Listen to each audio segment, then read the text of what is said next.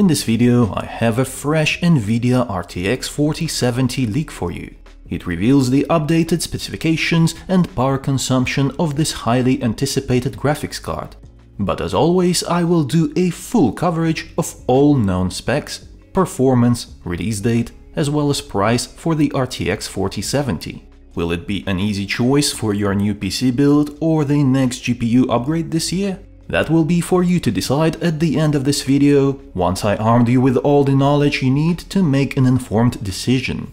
But what is an easy choice is choosing to build your website with Squarespace. With Squarespace you can easily build your website without having any web development knowledge.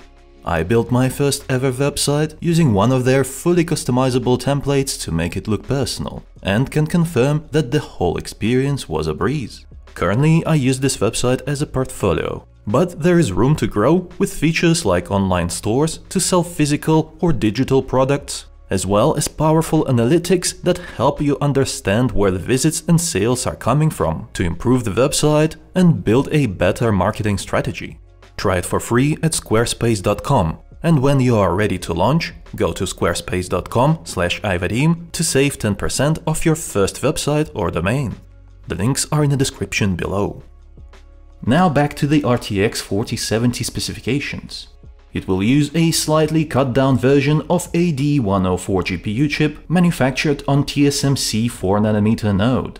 The GPU will feature 7168 CUDA cores and up to 48 MB of cache, paired with 10 GB of GDDR6 18 GB per second memory. The power consumption is currently rumored to be at 300 watts for this card, which is quite high compared to the current generation RTX 3070 at just 220 watts. This rumor is backed up by a recent statement from AMD's senior vice president Sam Naffziger in a recent Tom's Hardware interview. He said the following.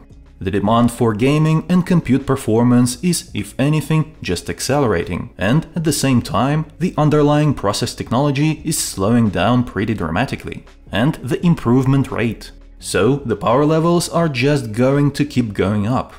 Now we've got a multi-year roadmap of very significant efficiency improvements to offset that curve, but the trend is there. Performance is king, but even if our designs are more power efficient, that doesn't mean you don't push power levels up if the competition is doing the same thing. It's just that they'll have to push them a lot higher than we will. I think that it is pretty clear that by competition he means Nvidia. So yeah, increasing power consumption in return for additional performance boost seems to be the road these companies are taking with their GPUs, at least for the next few generations. With Nvidia, the price is usually a well-guarded secret up until the product reveal day. We can only make an educated guess that RTX 4070 MSRP will be between 550 and $650, as prices are expected to rise across the whole chip industry. According to the latest leaks, RTX 4070 may be revealed along with RTX 4090 and 4080 as early as middle of July, However, it will not be available to buy until October, right on time for the holiday season, while 4090 is rumored to be available in August and 4080 in September. Now let's talk about the gaming performance. I prepared 4K as well as 1440p performance charts. But before I show them to you, I want to make one thing very clear. All the RTX 4000 series data is a very rough estimation based on the leaks. These charts are designed to give you a general idea of how the upcoming graphics cards will stack up against the current generation.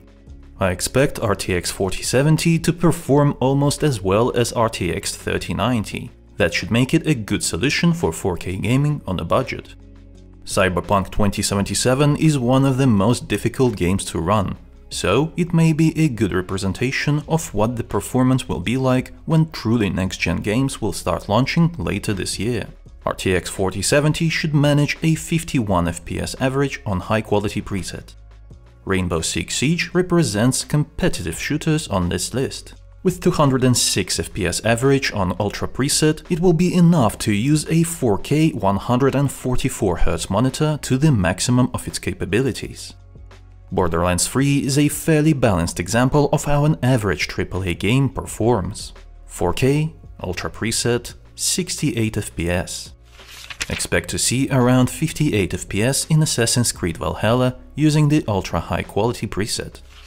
In the Shadow of the Tomb Raider, RTX 4070 comes close to 100 FPS average on the highest quality.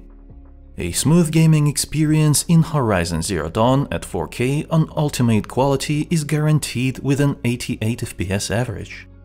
Death Stranding goes even further with 120 FPS on very high preset. Watch Dogs Legion should get 60 FPS average on ultra quality. Moving on to 1440p. I am less sure about how the RTX 4000 series graphics cards will behave at this resolution. But here is what I think it will look like if Nvidia did not address inferior 1440p performance compared to AMD RX 6000 series graphics cards.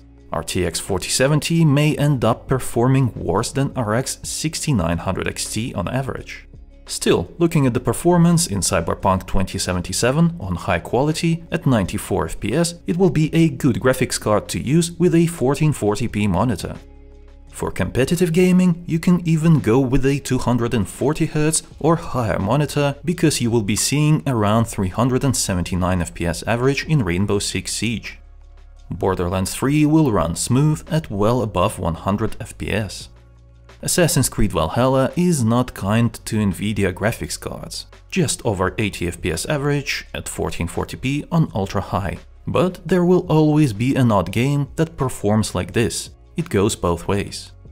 4070 should get close to 100 FPS in Watch Dogs Legion on Ultra preset.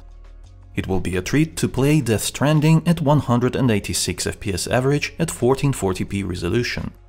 Horizon Zero Dawn is another game that will provide a smooth experience with over 140 FPS. And the last but not least, Shadow of the Tomb Raider, 166 FPS using the highest quality preset. I think that RTX 4070 could become a good entry point for those looking to move to a 4K monitor but don't want to part with close to or even over $1000 to get a graphics card that can run games at such a high resolution. So, a 4070 should be a good choice for playing any current game at 4K. As for the new games that will come with higher GPU requirements next year and beyond, I expect DLSS to solve this problem. Even the current DLSS 2.3 is very good in terms of image quality. Additionally, DLSS 3.0 is in the works and will bring us even closer to running our games with DLSS enabled by default. Like this video if it was helpful and subscribe for more. It was I, Vadim.